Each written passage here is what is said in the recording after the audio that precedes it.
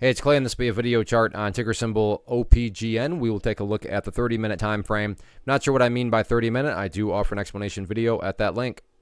Quite the eventful day today, not only from the price action point of view, but you look down here at the volume and just absolutely gigantic, well above average. So, more of the story, a lot of eyeballs going to be watching this one going into next week. So, let's map out some areas of support and then we can talk levels of resistance. So, the first level of support and nothing fancy or complicated here, but just where the, the pullback here finally stopped, and that was right around the 308 mark. So, like I said, big move up, and then the price had the pullback, and right there is where things, you know, found some buyers. So 308 is going to be that initial area of support to watch moving into next week. In the event the price cannot hold above that level, then the next key overarching area you'd want to keep a close eye on is that purple line down there, the 50 period simple moving average, currently valued at 255. But also, keyword there being moving. So as Monday and early next week play out, that line will move itself higher and higher. Or in other words, that value is going to increase in value. So yes, right now it's 255, but that'll change as you know uh, time plays out next week. But from the you know just the, the broad technical point of view, 308, that initial level of support and then the next key level to watch very closely is going to be that purple line there. Once more, the 50 period moving average. Now, in the event the price just decides it wants to start to bounce back upwards, let's talk about a couple of key areas of resistance.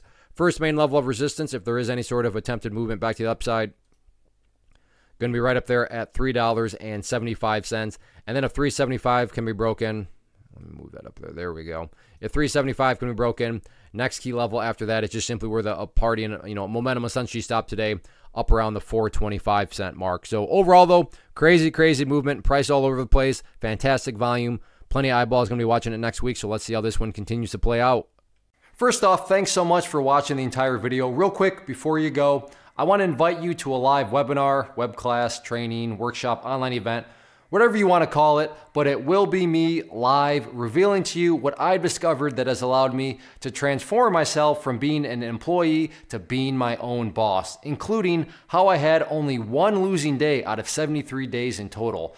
I'm going to cover three keys that have helped me unlock profitable consistency within the markets. The first key is super weird, but in a productive type of way. The second key is super awesome because it quite literally is wired into our DNA as humans, making it very easy to use. But in a cruel way, this becomes a pitfall for many traders. I'll explain it all though, including how to avoid the pitfall that it creates for some. And yeah, the third key, when you hear it, sounds way too good, way too good to be true, but it's not, and I'll show you how it all works. Then at the end, I open it up for a question and answer session that is, again, totally live. Even if you can't make the live session, please still sign up as it will be recorded and you can go back and watch the replay that I will send you.